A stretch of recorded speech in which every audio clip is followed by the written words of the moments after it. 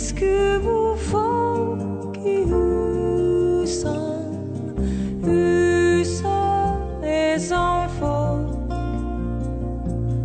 Folk treng hus, og hus treng folk i all sin tid. De er fraflytta og står delvis og råtner på rot. Falleferdige minnesmerker over ei tid som var. Men en gang var disse husene et hjem.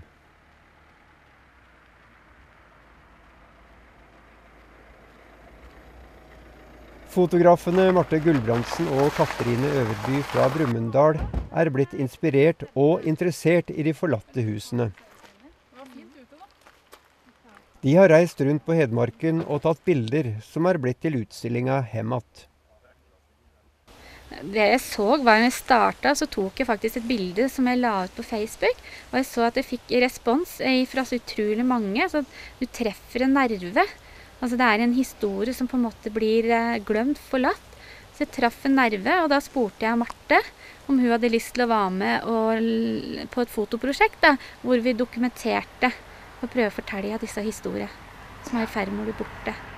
Når vi kommer til disse husene, og, eller bygningene, så lager vi jo våre historier og assosierer med, med, ting vi har opplevd i våre liv. Og tenkte at dette har vi lyst til å inspirere andre til å gjøre, og lage sine egne historier. Mm, for det er ikke en ren dokumentar. Det er det ikke. Vi tar bildene og på en måte dokumenterer det som har vært. Men eh, vi har ikke gravd oss ned i dybden på hvem som har bodd her opp gjennom tida. Men Nei. vi tar de bildene, og så ønsker vi at andre folk skal danne seg sine historier. da. Og det ja. gjør de i stor grad. Men vi merker vi når vi er på utstillinger, så kommer folk bort og forteller å, ja. dette her, sånn hadde bestemor det, eller dette husker jeg fra barndommen min. Så vi treffer Veldig bra, veldig egentlig. Vi treffer mm. flere generasjoner òg. Mm. Så ja, alt fra de unge til de eldre. Mm. Syns vi lager sine historier om ting de har opplevd før. da. Ja, Det er jo alltid like spennende da, før vi går inn. Vi vet jo aldri hva vi får når døra åpnes. Så um, ja, det er utrolig spennende. Det er som å gå på en oppdagelsesferd, egentlig. I et eh, liv som har levd.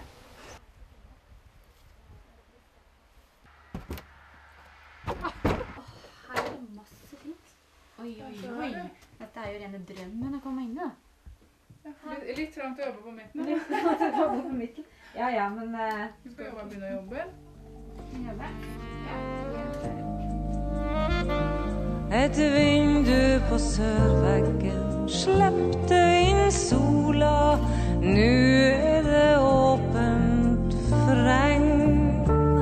Når vøta kjem inn, vil det snart komme floa av råte når dere går inn i et eh, hus som uh, dette her, så tråkker dere vel egentlig inn i en privat sfære? Så vi er veldig skånsomme mot, mot det vi møter, da. Mm, vi har, ja, har jo bodd familier her, det har vært et liv her. Ja, vi har jo respekt for det som har vært.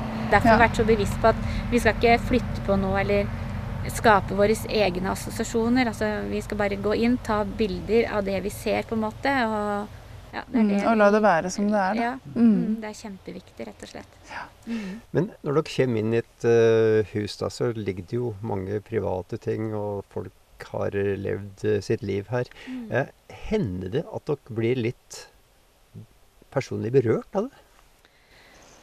Jeg vil jo si det. Det er, det, er, jo man tenker jo sjøl, liksom, hvis dette her var mitt hus, og jeg hadde lagt ned masse timer, og her er liksom Jeg vokste jo opp her, dette huset har han far bygd, f.eks. Og så plutselig så er det fallferdig. Det er jo klart til å rives mange steder. Mange hus vi har tatt bilder av, er jo revet. Så mm. klart, du føler jo på det. Ja, sånn det er jo ubotelig skade gjort på det som har, har vært noen sitt hjem. Da. Ja, for dette er jo stort sett hus som du kanskje ikke går an å Reversere, ja. ja. Rett og slett. Mm. Så det er med en ydmykhet. Dette huset her, det var det første dere fotograferte, tok bilder av. Og når, når, vi kom inn her, så så det jo egentlig ganske greit ut. Men det er vel ikke bestandig?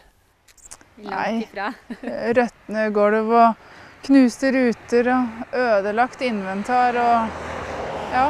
Grevlinger som har eh, bodd der og gjort Ja. sitt, Folk som har hatt en fest etter at det er blitt forlatt. Ja. Og vi møter mye forskjellig. rett og slett. Mm. Mm. De siste ukene har utstillinga vært å se på Kafé Torp i Hamar. Fra og med denne uka flyttes den til nærstasjonen på Løten. Interessen har vært stor, og Marte og Katrine er inspirert til å gå videre med prosjektet. Ja, det er jo en vandrende utstilling, og når det går så bra og vi får sånn respons, så er jo det en boost for å fortsette å jobbe med dette her. Vi koser oss jo veldig, og når vi kan på en måte fenge andre og, og skape noe bra for dem, så er planen at prosjektet det fortsetter. Føler dere at det dere har gjort er viktig? Jeg vil si det absolutt, Mm. for at vi dokumenterer og tar bilder av noe som har vært, ei tid som har vært og passert, men som er i ferd med å kanskje gå i glemmeboka for mange. da. Og vi ser jo det på reaksjonene når vi har utstilling, at det, folk blir jo Vi rører jo ved noe når vi tar disse bildene.